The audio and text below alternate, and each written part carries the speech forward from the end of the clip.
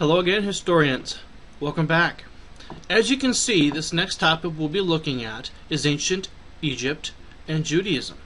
From our last unit level, where we talked about where civilization started, we now have one enormous development which allows us to help study and understand history better. That is written historical accounts, people writing things down. This will make it so much easier for when we're trying to understand a culture. With this new development, we are going to look at how Egypt's physical landscape and its significant had a significance to its success of its civilization, to the period of the known time, uh, known as the Old Kingdom, and what it might have been like to live in that period of time as a pharaoh or a peasant or a priest. Make sure you have your Unit Level 2 Lecture 1 sheet out and available to document your information and have all your distractions put away until the end. Trust me, you get a lot more out of it.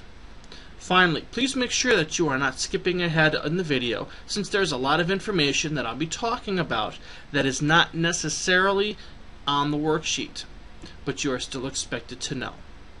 Now with all that stuff done, let's get rolling. Setting the stage. As we discussed in Unit Level 1, Mesopotamia was one of the first civilizations in the world. However, it will be Egypt that will create one of the world's first empires. To do this, they were able to create unity, stability, and cultural continuity among its people and its territories. By now, you should all have an idea of where Africa is. Egypt is the northeasternmost part of the continent. Today, it is one of the most developed nations in Africa, despite some recent political problems that have occurred in the past few years. Back in the day, though, it would be the place to be.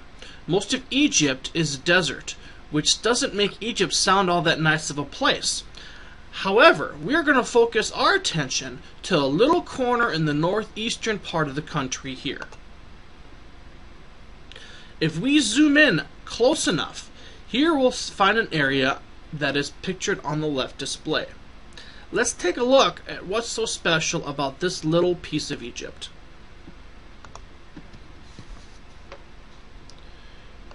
If you look closely at the inlay image on the last slide, you might have noticed something that kind of splits the picture in half. That blue was the Nile River. Let's take another quick look at it. The Nile is one of the largest rivers in the world and serves as the lifeline to all those who live near it. As we learned in Unit Level 1, civilizations would typically set up a home near a fresh water supply to help with the transportation of water, irrigation for food, and fishing. The same goes here. The Nile was the heart of Egypt. Without it, there would be no Egypt. Now, the Nile is the most important resource in Egypt and the surrounding areas. Besides being used for transportation, irrigation, and agriculture, it was also useful as a type of natural defense line. It was wide enough and deep enough during most parts of the year that it would prevent enemies from being able to get across it. We'll talk more about that later. Depending on who you talk to, though, mo most geographers say that the Nile is the longest river in the world that spans about 4,100 miles long. Every year the Nile would flood, bringing with it rich soil that was left behind once the water would recede. Egyptians worshipped the Nile um, as a god. And because of that, it was obviously worshipped as such, as a god. After all, if you rely on something to survive, wouldn't it be smart for you to treat it with the respect of a god? The flooding that I mentioned a minute ago worked like clockwork. It would flood very predictably, making it easy for the people to prepare for the harvest season. This was very different than the flooding that uh, affected the Tigris and Euphrates rivers in the Mesopotamia, which would flood unexpectedly. One very unique thing about the Nile is that it flows from the south to the north. The southern region is at a higher altitude than that of the northern region of Egypt, and since water flows downhill, well, it goes a little backwards in what you'd expect. Keep this in mind as we're talking about the upper and lower areas of Egypt. The last important thing to realize is that when you get away from the Nile Valley, the surrounding area is parched desert. Virtually nothing can live there without some sort of assistance. No water, no vegetation, no animal life. Virtually inhospitable. So let's see visually how important this river is. This satellite image kind of speaks for itself when you look at it. Down here, you have what's known as the Upper Nile. And here, you have the Lower Nile. If you recall a minute ago, I mentioned how the river also acted as a type of natural defense. Well, when you look here on the image, you can see that on the west side of the Nile, there is virtually nothing but flat land and desert. Not anyone really, no one really wants to live there. On uh, the east side, you can see that there's even more desert and even um, water, the Red Sea, to protect it. That being said, it was important that who was ever in control of Egypt be sure that he could defend both the northern and southern areas along the river, since these natural areas on the east and the west did a pretty good job of defending those areas. And there's the mountains that I mentioned uh, a second ago. There's a little bit of mountains there too. There are three disadvantages, though. It all sounds like it was a perfect place to start a family, right? Well, not everything was perfect. Let's look at those disadvantages. First, if the river flooded a few feet too shallow, or less than normal, thousands of people would starve. If the river flooded a few feet higher than normal, homes and property would be destroyed. And third, though the desert provided a great defense, it forced people to live close to the river and kind of tucked in between one another very closely because they needed it both for survival and as a natural barrier against invaders. As you just saw on the map, Egypt was sort of split into Upper and Lower Egypt. What the map didn't show you was that there's a third area called Nubia, which is even further south. What made and what made Nubia special was that it was rich in gold. As you'll see here, that the king would have eventually a king would take over Nubia in the southern part of Egypt and be in control of all things in the all populated regions of Egypt, creating the world's first empire.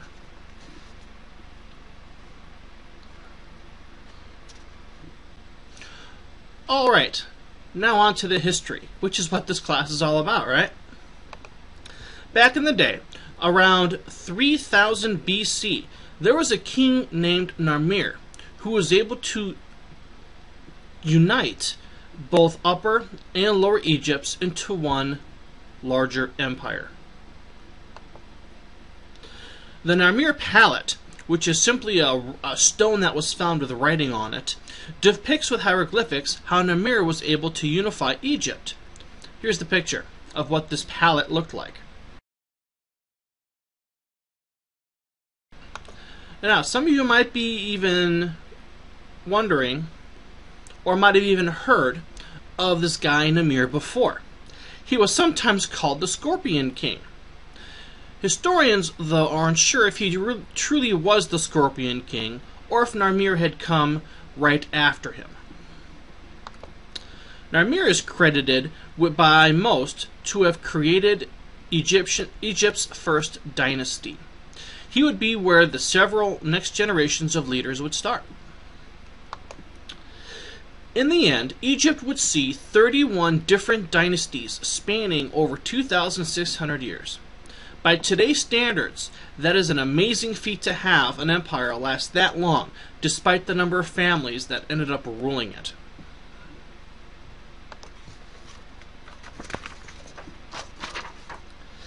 And here we see The Rock as a Scorpion King.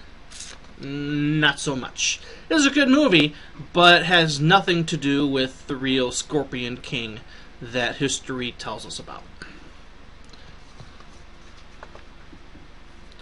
So, let's take a look at some of the players during this period known as the Old Kingdom, which is our next section. The Old Kingdom is also known as the Age of Pyramids. You can probably guess why.